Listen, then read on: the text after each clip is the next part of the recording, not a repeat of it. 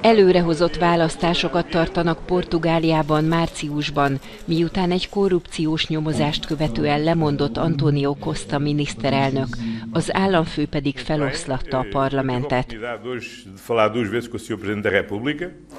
Az Euronews a portugál Zsurnálszól újsággal közös közvéleménykutatásában felmérte a választók hozzáállását a drámai fejleményeket követően. A válaszadók több mint 78%-a szerint Kosztának igaza volt, amikor a botrány közepette lemondott.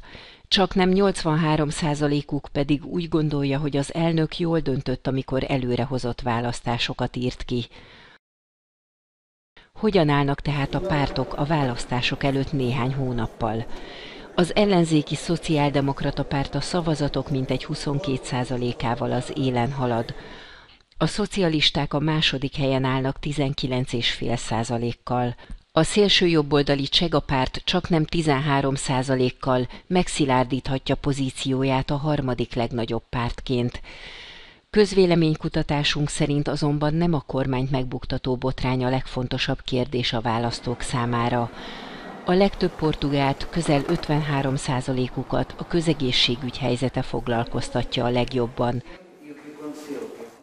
38%-uk az inflációt és a megélhetési költségeket tartja a legfőbb gondnak, míg az emberek 27-28%-a számára a lakhatás és az oktatás a prioritás.